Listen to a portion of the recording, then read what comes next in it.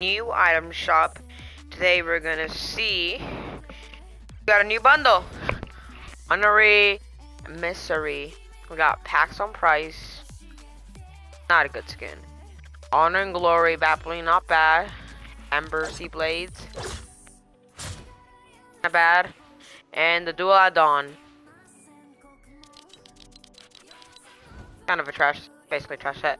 We got Doggo set, Swift set, we got the Sika bundle, we got Castaway Jonesy, Survival Specialist, Bust a Move, Dark Splitter, it's a Go Slow Clap, we also got the Dial People, we got the Raps, Gear, we got Rick and Morty, we got the Default, we got Seti's Locker, we got Star Wars, and that's it. I hope you guys please subscribe for more content like this.